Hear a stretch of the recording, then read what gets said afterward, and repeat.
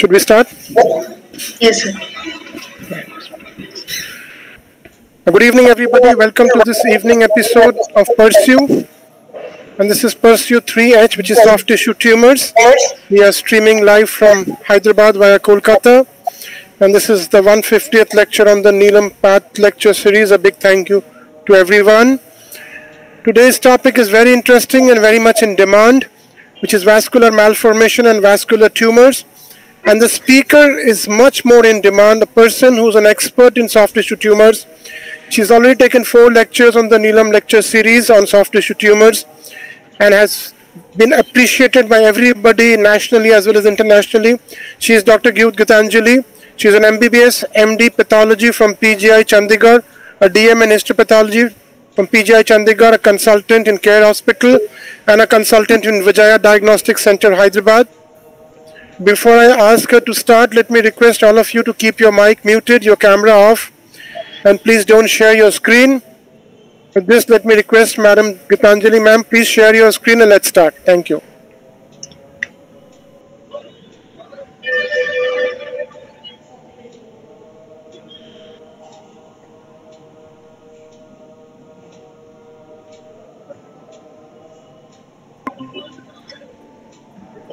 Thank you so much for the kind introduction, sir. Uh, can you hear me? Yeah, absolutely Yes. clear. We can see your screen also. Please start. Okay, thank you, sir. So, starting with the vascular tumors or the vascular malformations. So, the International Society for Vascular Anomalies have classified the vascular lesions into malformations and tumors. So, malformations are the abnormally developed vessels which are present since birth and grow with as the person grows. Whereas vascular tumors are the overgrowth of the vascular tissue and they form into an organized structure. So the basic difference is the malorganization of the vascular channels and vascular malformations. And tumors is like a tumor-like lesion which is very much organized. But on pathology, we cannot actually always differentiate between a tumor and a malformation. It is mostly because of the clinical backup. We can say whether it, which is helpful to say whether it's a tumor and malformations. So first starting with the vascular tumors. Now the WHO 2020 uh, the fifth edition has classified these tumors just like any other soft tissues into benign, intermediate and the malignant categories. The benign categories are the various hemangiomas and the lymphangiomas, which are the benign vascular tumors involving the venous channels, capillary channels, and the lymphatic channels. And in malignant, we have the angiosarcoma, which has the poor prognosis, and epithelioid hemangioendothelioma.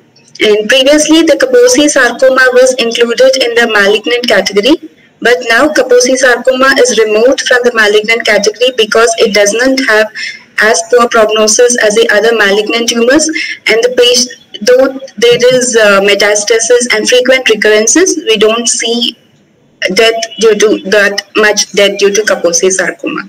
So now under malignant vascular tumors, we have angiosarcoma, epithelioid hemangioendothelioma, and in hep- epithelioid hemangioendothelioma, there is a characteristic molecular fusion, which is WWTR1 and CAMTA1, which is seen in more than 50 per 90% of the cases. Whereas uh, recently, this new fusion gene was uh, also identified, which is YAP1TFE3, which I will discuss in further slides. And uh, in intermediate category, we have two groups which are locally aggressive group and the rarely metastasizing groups. Within this, we can see the Kaposiform hemangioendothelioma, retiform hemangioendothelioma, papillary angioendothelioma, the composite hemangioendothelioma and pseudomyogenic hemangioendothelioma. Those although all these tumors have this common term of hemangioendothelioma, there is no morphological relation or any molecular relation between hemangioendothelioma. So when we give a diagnosis of hemangioendothelioma, we should specify what type of hemangioendothelioma it is. Just saying hemangioendothelioma doesn't make any sense. So first we'll start with the malignant tumor, which is angiosarcoma. So it has a very poor prognosis with more than 50% of patients dying within one year of diagnosis. And the peak age of incidence is elderly people in their second decade of life. However, it can occur over a wide age range and it is extremely rare in children, but it can occur in children. And it has propensity towards the male gender. And based upon the clinical presentation, we have uh, five, we can categorize them into five different types. First one is the primary cutaneous angiosarcomas which are not associated with lymphedema or the radiation.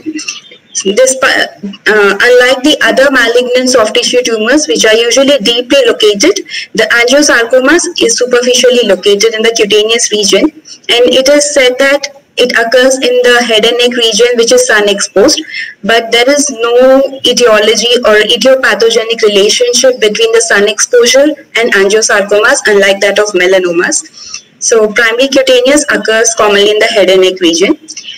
Other one is the lymphedema associated angiosarcoma which occurs uh, after post-chronic lymphedema, especially after the post-mastectomy.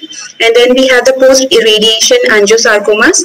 These were common in the abdomen after irradiation given to the cervix and the uterus, but now even in the uh, breast irradiation post-therapy, we are also seeing post-irradiation angiosarcomas in breast and the chest region.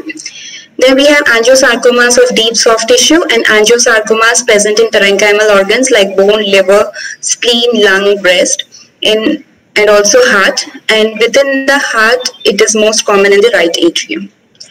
So clinic, coming to the clinical presentation, the angiosarcoma in the early stage can present like a small ecchymotic patch or a violaceous papule, which later increases in size and becomes nodular with uh, ulceration.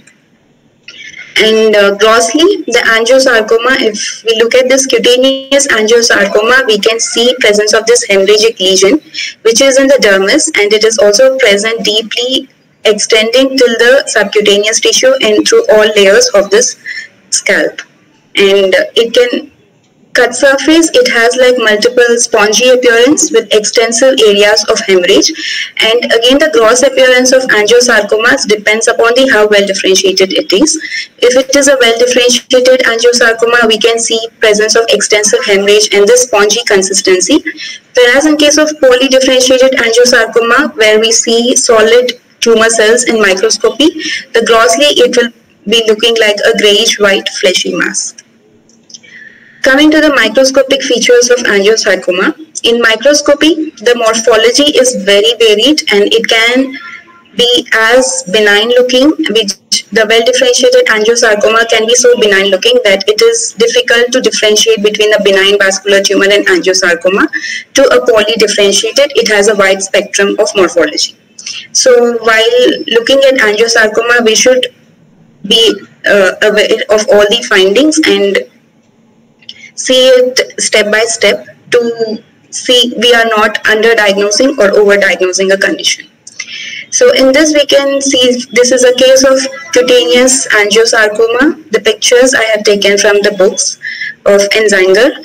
So this is the epidermis and this is the dermis. We can see that there are variable shaped uh, vascular channels and these are all anastomosing and dissecting deep into the dermis and these are very irregular in shape. And this is the most important first finding which you have to see in the low power which is dissection through the multiple planes. Like it dissects from the dermis and also extends into the subcutaneous tissue. And these are anastomosic vascular channels and they are of varying size. And if we look at the border it is not a well circumscribed lesion. Rather it will be very ill defined lesion with irregular borders and in higher power, we can see that these uh, vascular lesions, they surround all this dermal collagen, causing entrapment of the uh, dermal collagen. And it gives a characteristic cracking appearance, which is seen in the dermal collagen, separating off each of the collagen fibers. And it also like circumferentially infiltrates the adnexal structures and separates out this adnexal structure from the adjoining tissue, which is the isolating of the adnexal structure. And it, when it infiltrates into the subcutaneous fat, it causes splitting apart of the subcutaneous fat cells.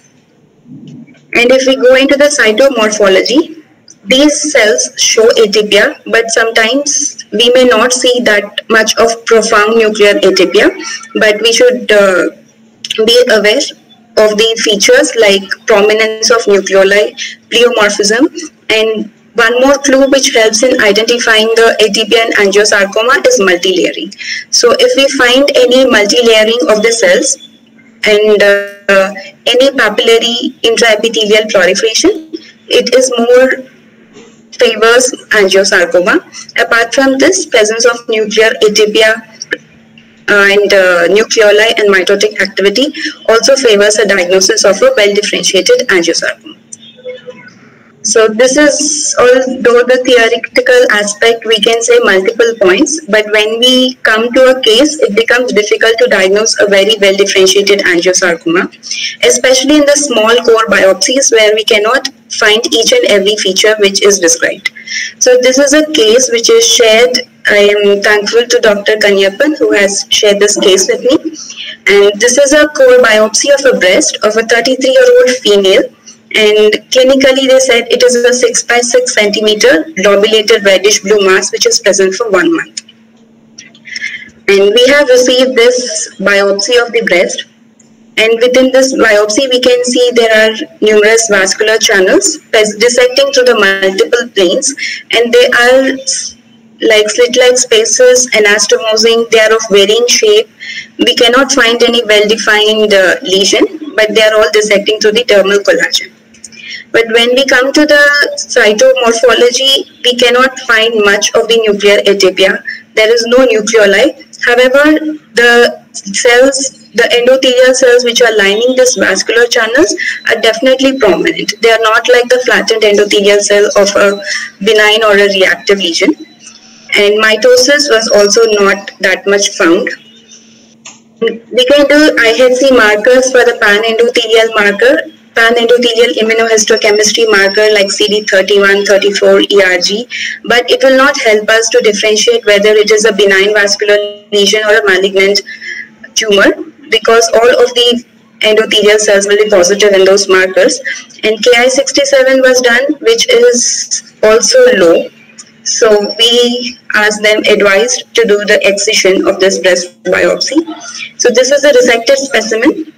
In, in the resected specimen, we can see this is the epidermis and within the dermis and into the breast parenchyma, these are these small, small slit-like vascular channels which are of varying size and anastomosing. There is dissection through the multiple planes deep into the dermis and if we see these channels, some of them are isolating this ductal epithelial, uh, the ductal structures of the breast. And the cells in some areas, we have found the ones which are very prominent and showing nuclear atypia and hyperchromasia. They are also isolating the small acinar structures separating them and mitotic figures were also found. So this is a case of a very well differentiated angiosarcomas and it is a very difficult diagnosis in a breast because most of the breast angiosarcomas are very well differentiated.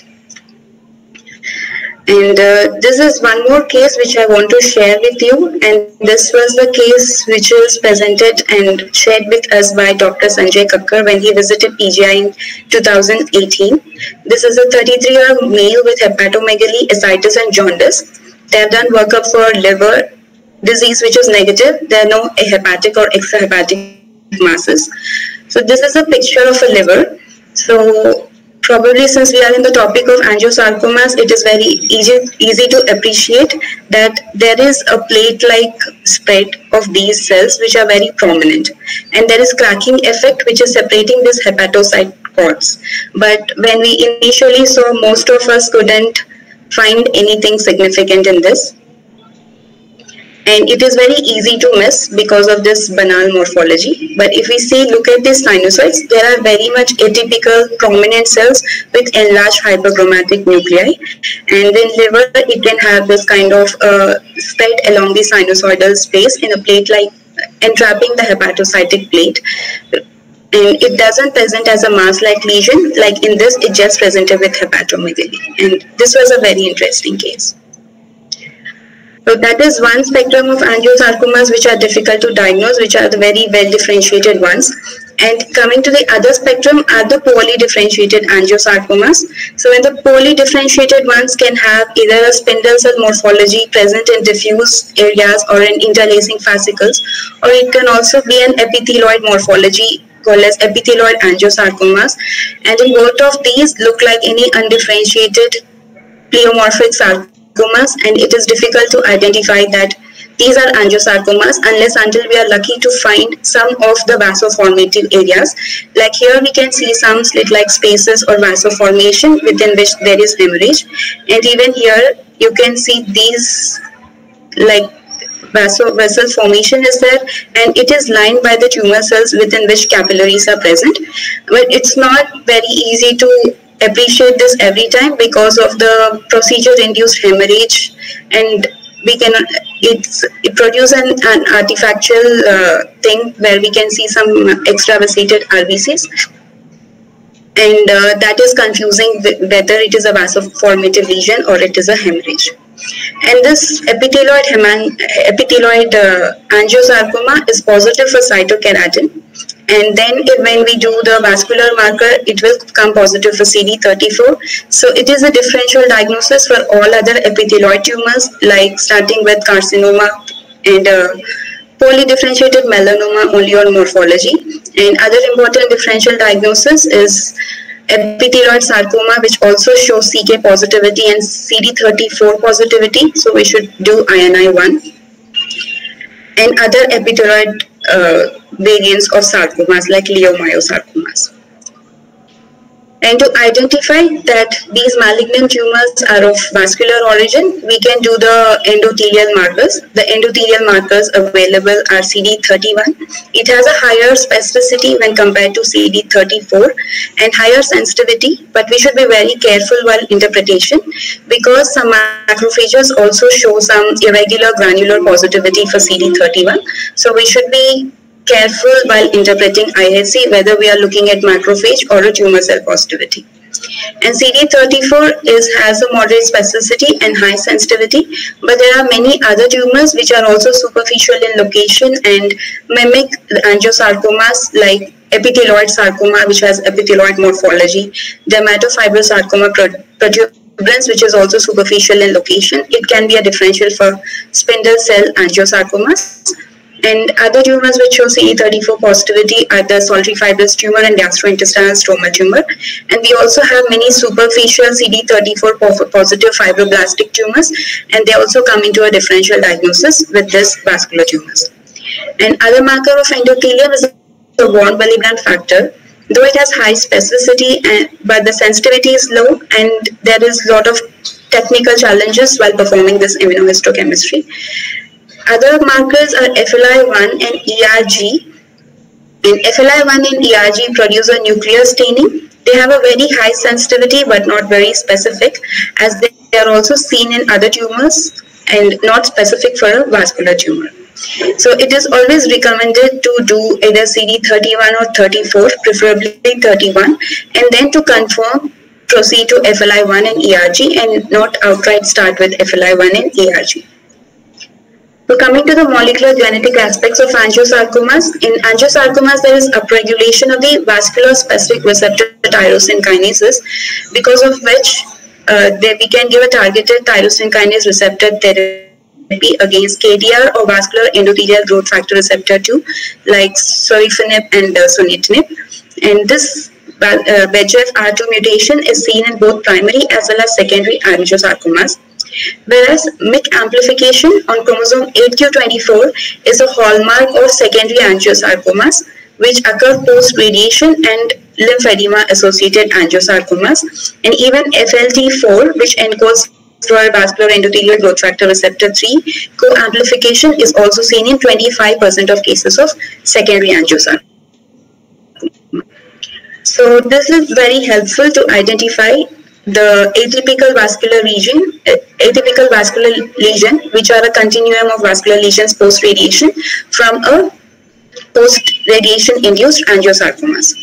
So atypical vascular lesions are completely benign lesions, but they develop follow radiation and they have some of the features of angiosarcomas. So there is an overlap of these lesions with angiosarcomas posing a diagnostic difficulty and uh, the morphological features of angiosarcoma which are seen in atypical vascular lesions are there are vascular channels of irregular shape and size, anastomosing. They also dissect through dermal collagen but instead of being a diffuse multinodular or ill-defined margins, they are relatively circumscribed. They rarely infiltrate into subcutaneous fat and the cytomorphological features like profound nuclear atypia, nucleoli, multi-layering of cells or mitotic activity is not found in atypical uh, vascular lesion. And atypical vascular lesions have a lymphatic type and a capillary venous type. In the lymphatic type, we can see these are the dilated vascular channels of varying size and they are present in the multiple planes dissecting through the collagen. And here they are slightly prominent with nuclear hyperchromasia, though we cannot appreciate prominent nucleoli and no mitotic activity. But still many times the, it is the assessment of atypia is very subjective and we cannot completely rely on our judgment. And in that cases, it is very helpful to do this c-MYC immunohistochemistry or FISH study for c-MYC amplification or FLT4 amplification as the post-radiation induced angiosarcomas or secondary angiosarcomas are associated with MYC amplification. Moving on to the next malignant entity, which is the epithelioid hemangioendothelioma. This epithelioid hemangioendothelioma occurs in a relatively younger population in comparison to angiosarcomas, and the peak incidence is in fourth and fifth decade.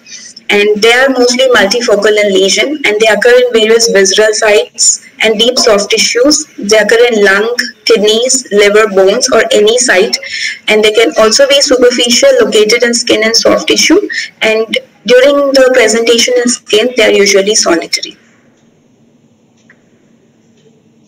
In coming to the morphology, they are usually present as an angiocentric lesions and then they spread into the surrounding uh, soft tissues. So here if we see in this picture, this is a vessel and within the vessel, the tumor is filling up the total vessel this is these are the tumor cells which are present in this fibromyxoid background.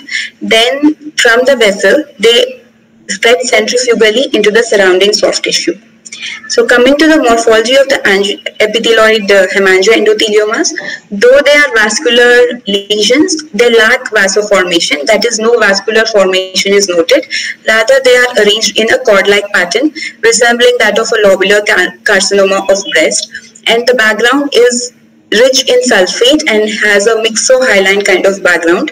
And these individual tumor cells show presence of intracytoplasmic lumina, which are also called as blister cells. So these are the characteristic morphological features of epithelioid hemangioendothelioma. Despite their look of being like a arrangement of a lobular carcinoma's epithelioid morphology. These are also positive for cytokeratin, so we should be very cautious not to interpret these as carcinomas. And uh, more than 90% of cases have a characteristic translocation of 1-3 with a WWTR1 and CAMTA1 fusion. And there is an immunohistochemistry available for CAMTA1 which can be performed in these cases apart from the uh, markers for endothelium like CD31 and 34. And in the recent WHO, a new entity was described in within a new subdivision within hemango, epithelioid hemangioendothelioma is described, which has this characteristic YAP1 TFE3 gene mutation, gene fusion. And uh, in these tumors, these have a very distinctive histological features which are different from that of the classical epithelioid hemangioendotheliomas. Like we don't have this cord-like arrangement which is seen there. Rather, there is a solid growth pattern and the cells have very abundant eosinophilic cytoplasm and vasal formation is identified in these cases with abundant cytoplasm. They can also show presence of inflammation in the background matrix. And these morphology can be merging with a classical epithelioid hemangioendothelioma. And studies have shown they have this characteristic YAP1 TFE3 gene fusion. They express the pan endothelial cell markers. And we can also do immunohistochemistry for TFE3, which shows nuclear positivity for confirmation of these tumors. So coming to the next category, which are the intermediate category of vascular tumors, which rarely metastasize and they have a frequent local recurrences.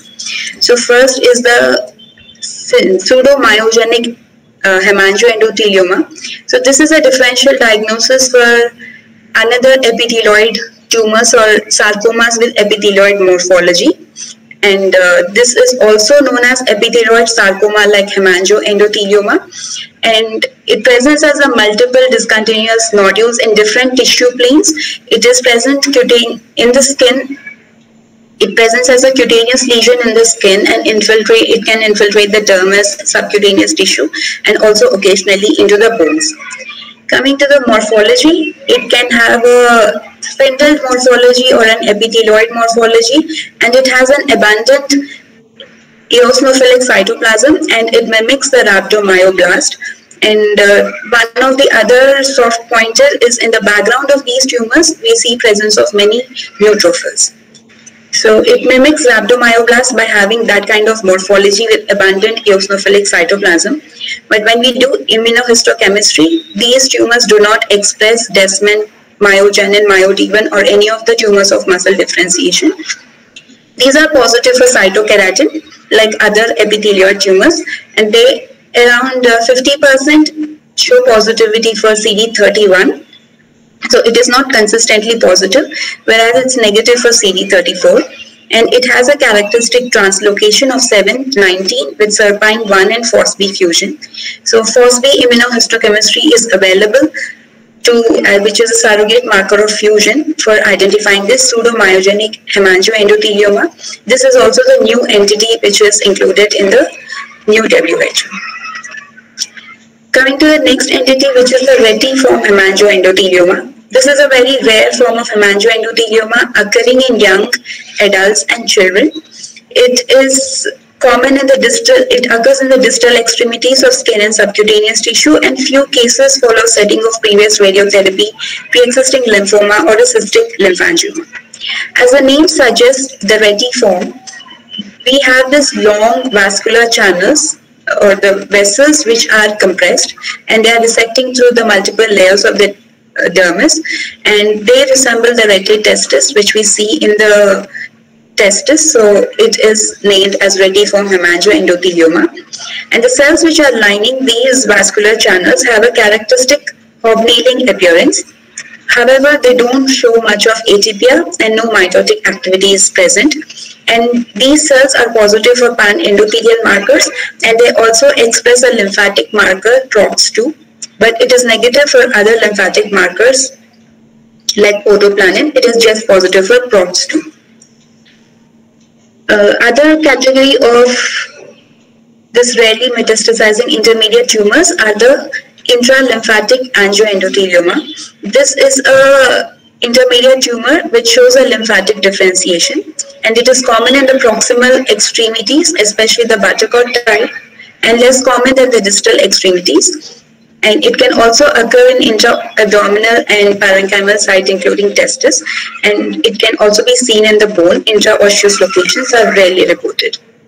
As I said, this is like an intermediate tumor which is showing lymphatic differentiation. Even the morphology resembles that of a cavernous hemangioma. In a low power, we see presence of this large cavernous spaces and outside this cavernous spaces, there is a dense lymphocytic inflammation with formation of nodules. And within this cavernous spaces, we see presence of this intraluminal papillary proliferations and these papillae are lined by this matchstick-like columnar hobnail cells. And these tumors express both pan-endothelial markers and also all lymphatic markers, including LYV, uh, the lymphatic vascular endothelial marker, PROX2, and podoplanin. Coming to the next category, which is a composite hemangioendothelioma. This is a very rare hemangioendothelioma and occurs in the distal extremities, head and neck and oral cavity. And according to definition, to call something as a composite hemangioendothelioma, it should have two patterns which are morphologically distinct. Like we can this is a example of retiform hemangioendothelioma with this rete testis like compressed vascular channels showing prominent hobnailing and adjacent to this there is a tumor which is showing morphology of that of a epithelioid hemangioendothelioma with some cord-like cells and present in a myxohyaline background. So if we see any two combination of two tumors, we call it under, we put it under a composite hemangioendothelioma. And apart from this, there were also some cases described where they have seen a combination of angiosarcomas with this, and they have put it under a composite hemangioendothelioma rather than a malignant vascular tumor, which is an angiosarcoma. So the criteria is not exactly defined when to call it as angiosarcoma and when as composite hemangioendothelioma. So it is a bit controversial and making the diagnosis of composite hemangioendothelioma with a combination of angiosarcoma is a bit treacherous. And uh, recently, uh, variant in composite hemangioendothelioma is described, which expresses a neuroendocrine-like marker. In this variant, there is combination of tumors which are having retiform hemangioendothelioma-like pattern or epithelioid hemangioendothelioma-like pattern without a characteristic myxohyaline stroma. And there are which are intermingling with regions which have a neuroendocrine uh, sort of arrangement with epithelioid and spindle cells present in this nesting pattern. If you see in this picture, the nesting pattern of spindle cells and epithelioid cells resemble that of a neuroendocrine tumor and this tumor shows positivity for neuroendocrine marker which is synaptophysin. Chromogranin is not constantly expressed and these were called as composite hemangioendothelioma with nuclear marker expression and this is an aggressive variant and on doing the molecular genetic studies they found a novel PT VP1 MAML2 and EPC1 PHC2 fusion. So this is a new category of entity which is also included in the recent WHO. Moving on to the next uh, intermediate malignancy, which is a Kaposi sarcoma. So Kaposi sarcoma is a viral induced HH human herpes virus 8 induced multifocal vascular proliferation. Clinically, there are four variants of Kaposi sarcomas, which are the classical indolent variant, which occurs commonly in the elderly individuals in the distal extremities, and an endemic African variant, which can occur in wide range, age range, and also in children an iatrogenic Kaposi sarcoma which develops post-renal transplant or post-immunosuppressive therapy, and the AIDS-associated Kaposi sarcoma, which is the most aggressive form of Kaposi sarcoma seen in HIV patients.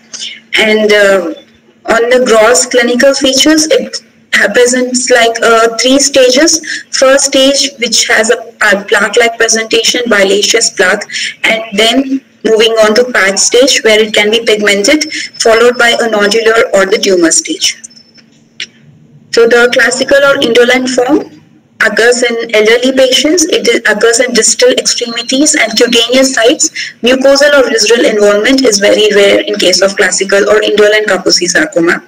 In the African endemic form, it has an aggressive forms where uh, uh, one form presence in children with diffuse lymphadenopathy with Kaposi sarcoma occur in lymph nodes.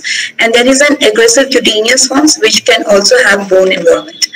And there is one more form which is a cutaneous indolent form which, which resembles the classical Kaposi sarcoma. And then the iatrogenic Kaposi sarcoma are also cutaneous in location. And but the AIDS-induced Kaposi sarcoma are the most aggressive, which can occur in varied sites including face, genitals, lower extremities, mucosal sites, lymph nodes, gastrointestinal tract, and lungs. Coming to the morphology, like I said, there are three stages, which are the plaque, patch, and then the nodular stage. And based upon this stage, we have an intermixture of uh, vascular channels and the spindle cells. So in the early stages, we have these lymphatic-like vascular channels, which are infiltrating here. And in addition to this, we see a lot of inflammation in the surrounding area. And these lymphatic channels are dissecting through the collagen. And uh, but in contrast to the angiosarcomas, the cells which are lining these vascular channels don't show any profound nuclear atypia, prominence of nucleoli, or uh, multi-layering, which is the most important feature in angiosarcoma, is not seen in this Kaposi sarcoma. But they surround these adnexal structures, causing this uh, protrusion into the lumen, which is a promontory sign, most commonly which is a diagnostic sign appreciated in the Kaposi sarcoma. And later to the PAT stage, there is a increased proliferation of the spindle cells along with inflammation. And in the tumoral stage, we see a lot of spindle cell proliferation, which is more cellular, forming a tumor-like mass. So the spindle cells of the Kaposi sarcoma are arranged in a fascicular pattern and they show presence of these hyaline globules. Within these spindle cells, we can see some of these slit-like vascular spaces which are showing extravasated RBCs. We find many uh, nuclear uh, mitotic activity is frequently found in Kaposi sarcoma.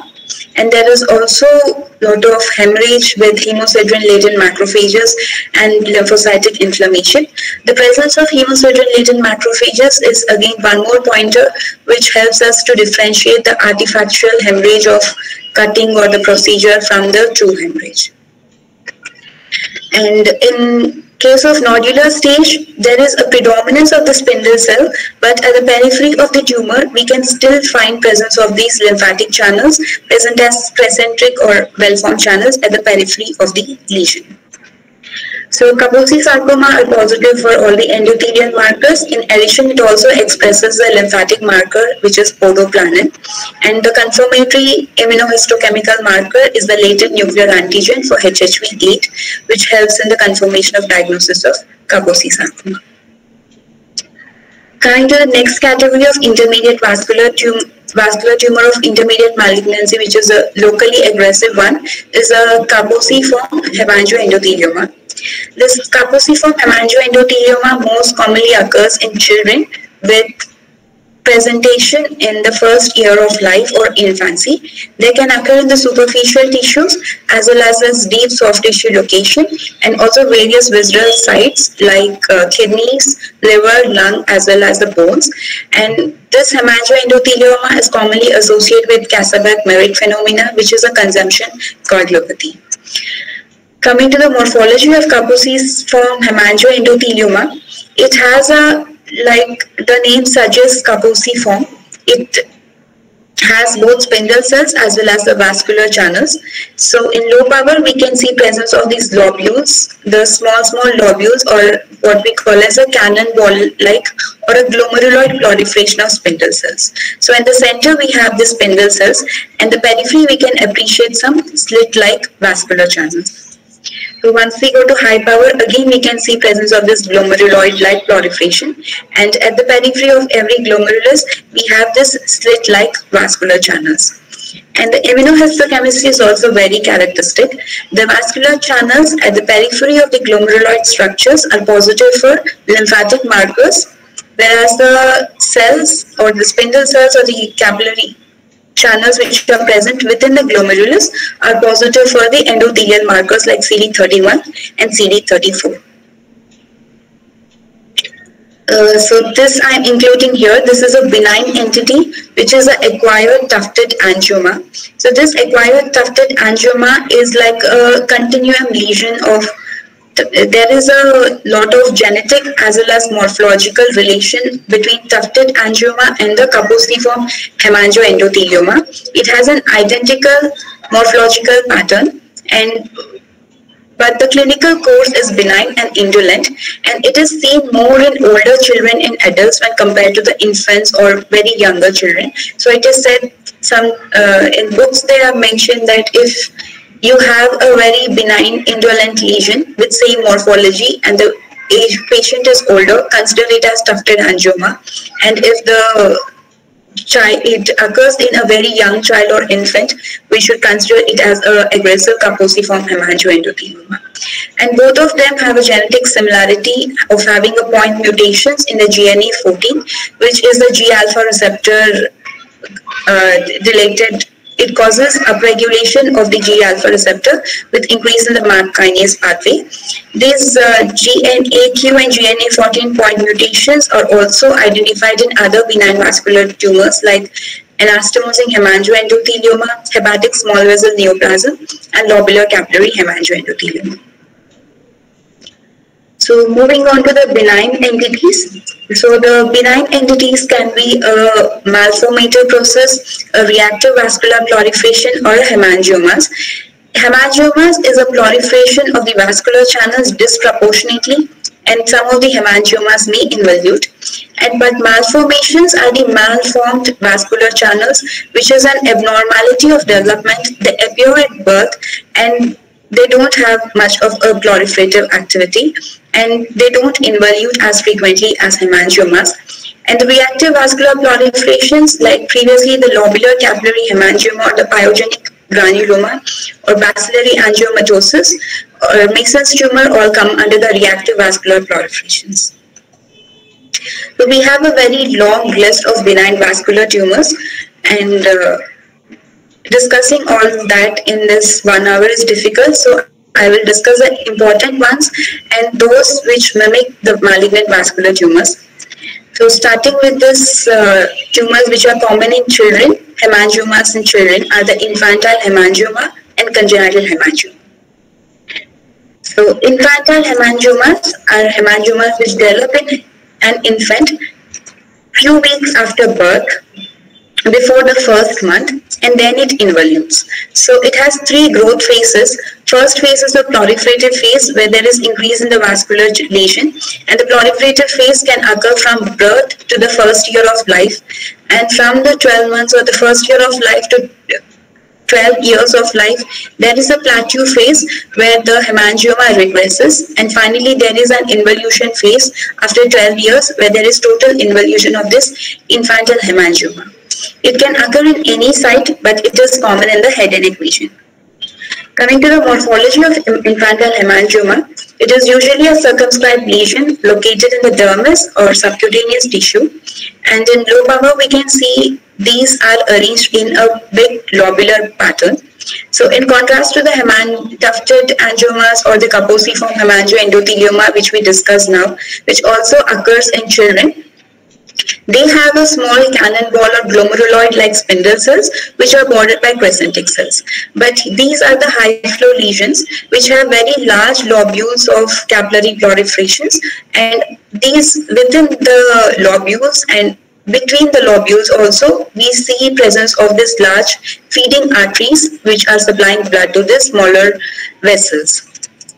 And these small capillaries usually are not well formed, so we don't find any well developed lumina. Instead, we find presence of this spindle cells within that solid area or it can also become a well-formed lesion, but most of the time we have an ill-formed vascular channel filled with blood or no uh, vascular lumen at all and a spindle cell. And within this lesion, we can also find mitotic activity. So the presence of mitotic activity should not be alarming or we should not make it a malignant tumor. It is normal to find mitosis during the proliferative phase of this uh, infantile hemangioma. As it regresses, we can see presence of this well-formed vascular channels. and uh, there will be increase in the fibrous matrix between the vascular channels with complete involution of the lobules and the small capillary channels being replaced by this fibrotic matrix. What remains are the large feeding arteries with collagenized walls. And they, these infantile hemangiomas have a very unique immunohistochemical markers which are present in the uh, placental blood endothelial cells and the blood tissue barriers, which are the glucose transporter 1, Lewis Y antigen, Fc gamma receptor, and merosin. So we can uh, take help of this glucose transporter 1 when a differential diagnosis arises between an infantile or congenital hemangioma or a Kaposiform hemangioendothelioma or infantile hemangioma. So this is the only tumor which shows presence of this GLU transporter 1 expression. And uh, these infantile hemangiomas can present as a focal, multifocal, segmental distribution along a nerve like in trigeminal nerve or an indeterminate pattern of distribution. And if there is a facial segmental uh, distribution along the trigeminal uh, nerve, is a hallmark sign for the PHACE anomalies, which are the posterior brain fossa abnormalities, hemangiomas, arterial, uh, cardiovascular, and eye abnormality syndrome, which is a PHACE syndrome. And if these infantile hemangiomas are multifocal, that if there are more than five cutaneous infantile hemangiomas, we should also screen for presence of a underlying visceral involvement, especially the hepatic involvement. Coming to the next uh, tumor, next hemangioma, which is common in children, is the congenital hemangioma.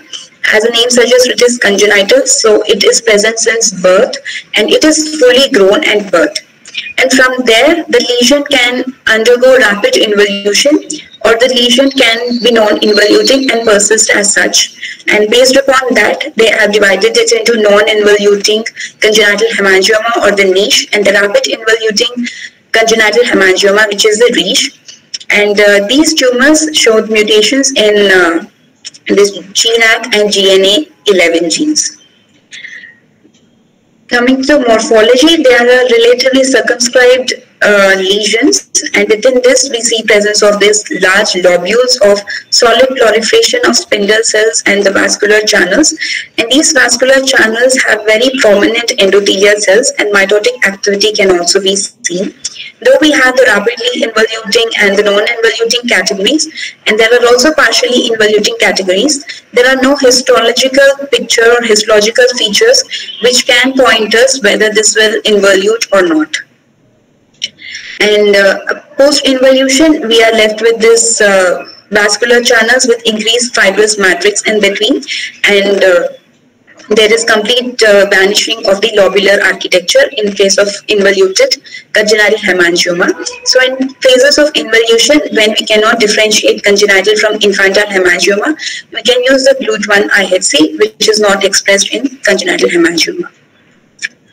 So coming to the next benign vascular lesion, which is the epithelioid hemangioma, which is also called as angiolymphoid hyperplasia with uh, eosinophilia.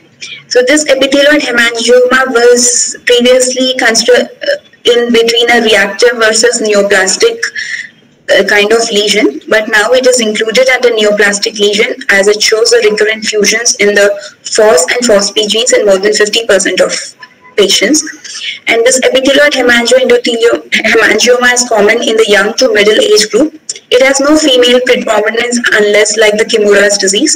And the most common sites are head and neck, periauricular zone, distal extremities, oral mucosa, and rarely intraosseous site. And uh, based upon the morphology, this epithelioid hemangioendothelioma have a conventional subtype and the subtype with lot of inflammation, which is angiolymphoid hyperplasia with eosinophilia subtype.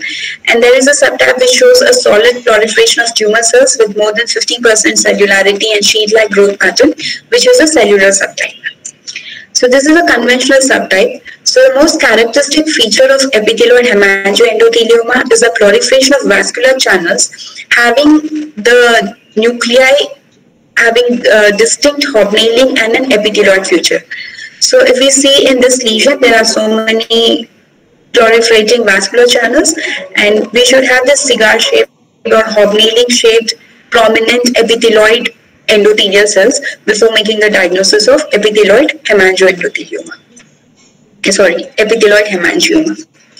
And in the angiolymphoid hyperplasia with eosinophilia variant, apart from these proliferation of vascular channels showing prominent endothelial cells, we also have a lot of inflammation.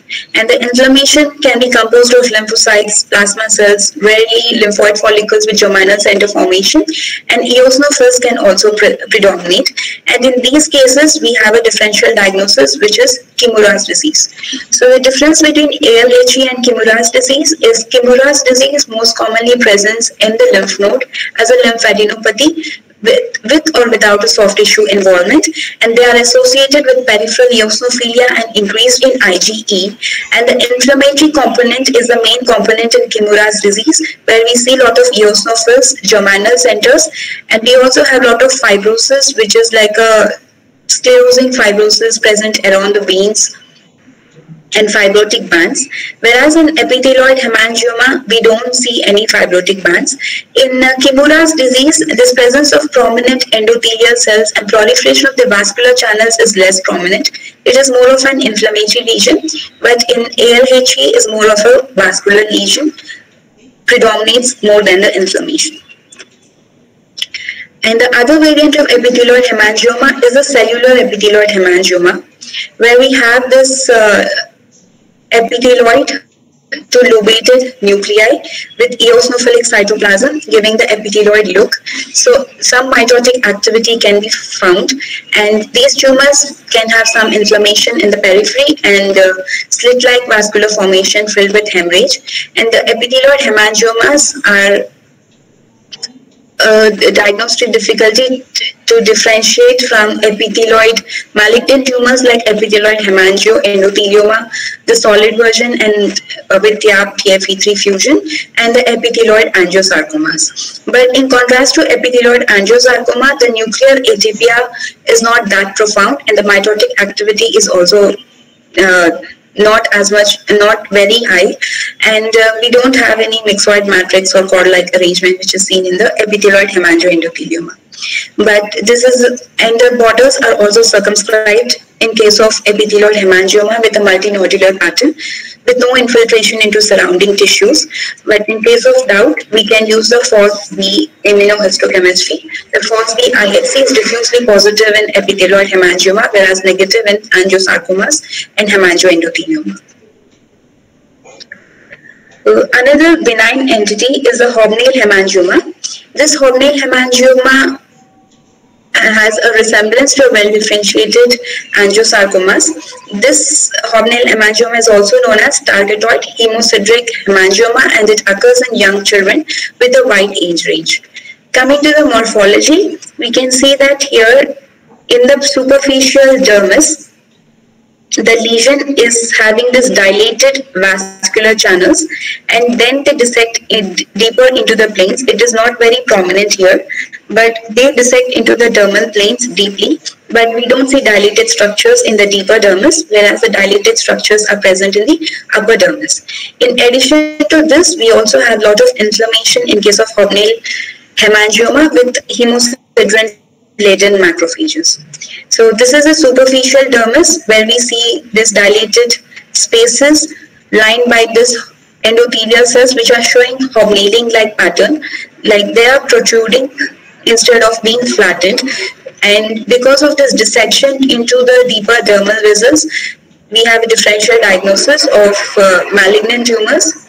And because of this prominence of this endothelial cell, we consider a nuclear atypia so tilt more towards a malignant tumor, but we should be careful about the pattern. We should look at the pattern in general of this superficial dilated vascular channels and then narrow slit-like spaces in the deeper dermis. So this low power picture is very important to study to differentiate hobnail hemangioma from other malignant tumors.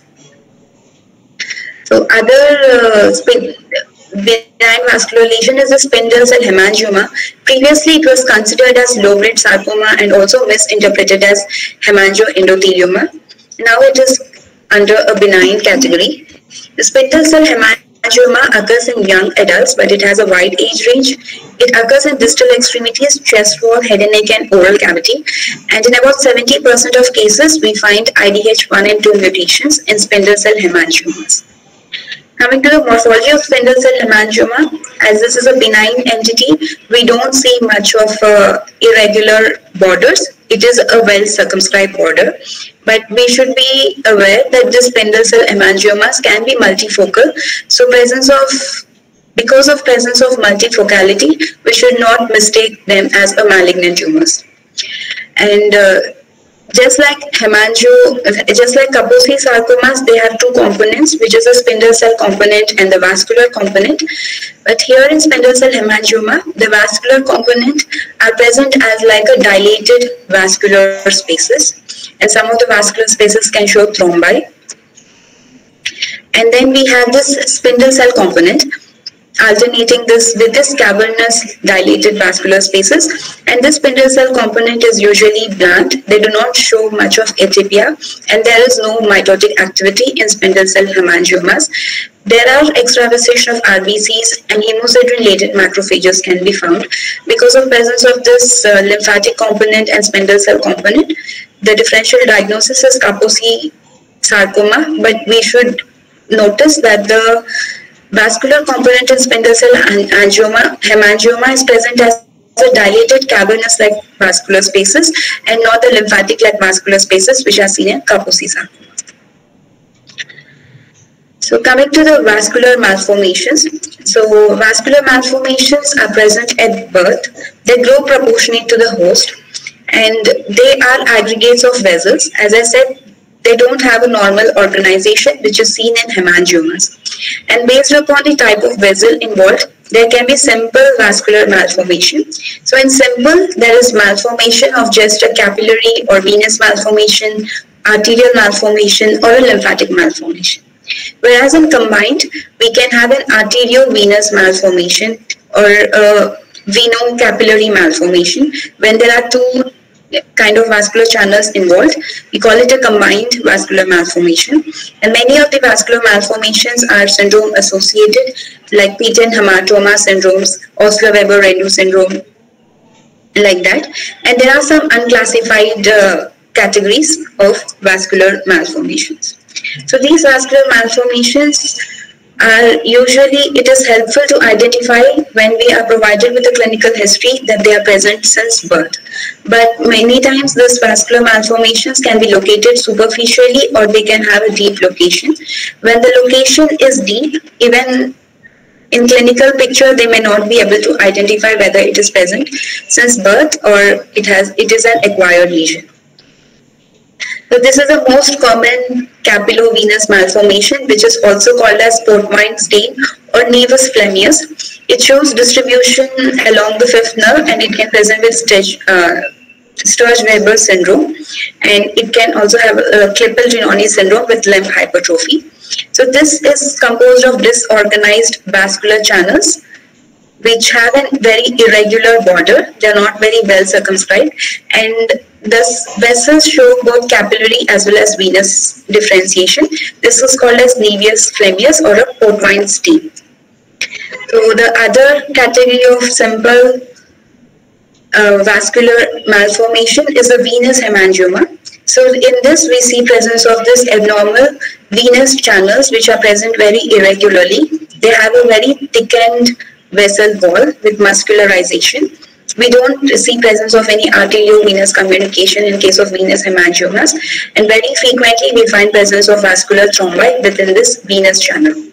These venous hemangiomas are associated with a blue rubber bleb nevus syndrome where it presents as a blue nodular venous malformation. They are deeply located so they look very blue and they involve the dermis and subcutaneous tissue and it, it can also occur in the gastrointestinal tract.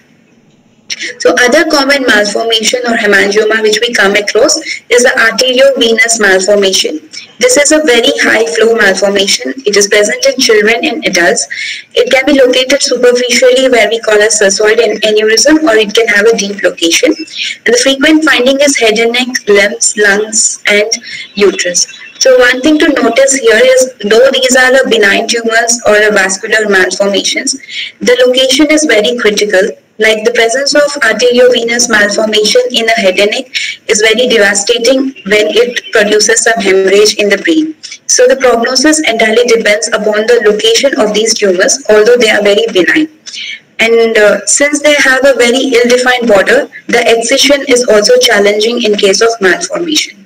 And the local recurrence rate is high.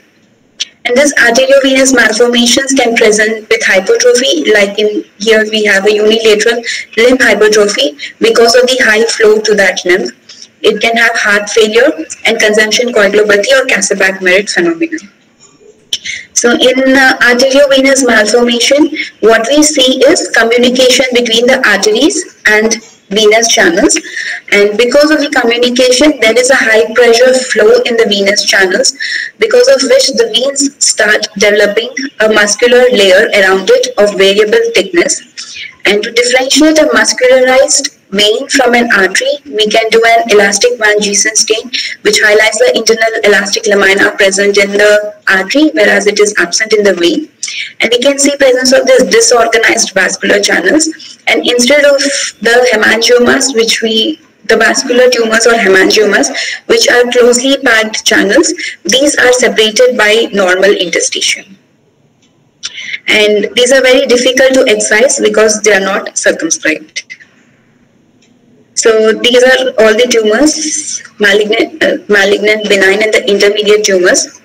I though there are much more uh, hemangiomas, I think we can just read it since they do not come into differential diagnosis, and it is it will take a lot of time. But the take home points from this lecture is before making a diagnosis, the clinical context is very important, like the age of onset, whether it is from the birth and the age of the patient, location, history of radiation, history of immunosuppression, history of any foreign implants or AV fistulas. And if we see any tumor which is having uh, any vascular tumor which is having infiltrating margins, dissecting kind of growth pattern, anastomosing channels, and the endothelium is showing multi-layering and cytological atypia, just pause for a second, look at it very carefully and so that we don't overdiagnose a benign tumor or underdiagnose a angiosarcomas. And we should be beware of the pitfalls of immunohistochemistry like cytokeratin positivity in epithelioid hemangioendothelioma and epithelioid uh, angiosarcomas as well as pseudomyogenic hemangioendothelioma. We should not mistake them for carcinomas or epithelioid sarcoma.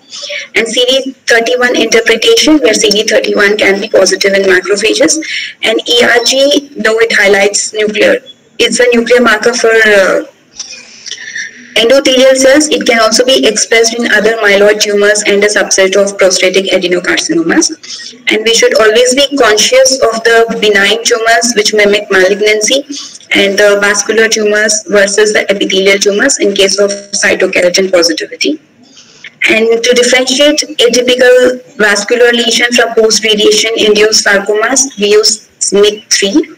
And there is a new distinct entity of epithelioid hemangioendothelioma, which lacks the cord-like pattern, it lacks the fibromyxoid pattern, and it has a vasoformation and abundant cytoplasm. We can do TFE3 immunohistochemistry, and it is the epithelioid hemangioendothelioma with YAP1 TFE3 translocation. And to differentiate epithelioid hemangiomas from other epithelioid malignant tumors, FOSB immunohistochemistry is helpful. Thank you. Thank you so much. That was very extensive. You must be very tired. Uh, can, can you see your chat box? Uh, On the top right side. Yes, sir. Yeah, there are some comments and questions by Professor Pranab Bhattacharya. If you, if you feel you can answer them or you can answer them later, depending upon your choice. You want me to read them to you? I can read them to you as well. Yes, sir. Should I read them? So, yes, Okay, this you can read I can read out. Said cutaneous epithelioid angiosarcomas have large round or polygonal epithelioid cells arranged in sol- solid sheets or nest they have a basophilic and eosinophilic cytoplasm. Yes, this uh, epithelioid angiosarcoma they describe has a bit of amphophilic kind of cytoplasm, vesicular nuclei, prominent nucleoli. And they say mitotic figures, including abnormal mitosis, are frequently encountered. And what are the risk factors for development of angiosarcomas?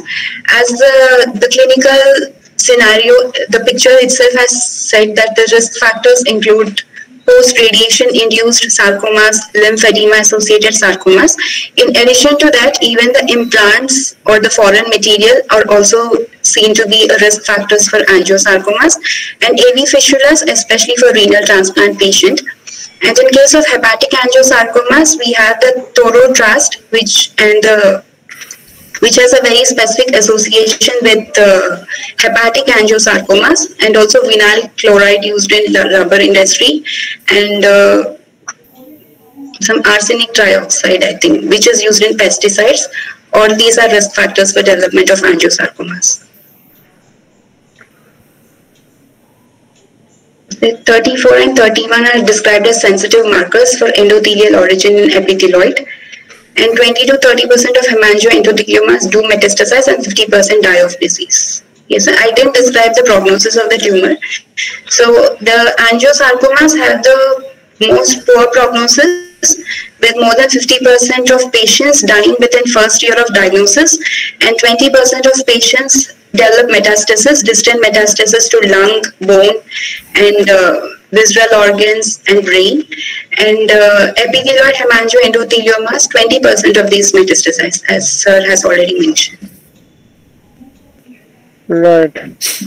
The mimickers are the ones which are the real problem. Yes. Yeah, especially the ones which look like a simple hemangioma, but actually they are uh, angiosarcomas, and the ones which you showed us the, the cutaneous ones. Yes. And the and the case which you shared of Sanjay Kakar, that's a real difficult one. Yes, sir. It was a very like you can't Yeah. forget once you see. Yeah, yeah, true. Yes. I mean, the first go you think it's absolutely normal. There's nothing there. It's just fragmented biopsy of liver. Fragmented, yeah, non-representative biopsy. But then when you see those small, small cells, that's Yes. the time. Yeah. Wonderful present, presentation, Dr. Geethanjali. As usual, you're an expert in soft tissue. I would say fantastically done. Thank you for consenting to come and speak on this. And you know, um, we are now having 150 lectures up front. Thank you for contributing to that. Thank you so much. God bless you. Please share the PDF of this lecture. We will upload it for the students, right? Sure. Thank you. Take care. Bye bye. Good night. Thank you, sir. God bless you. Bye.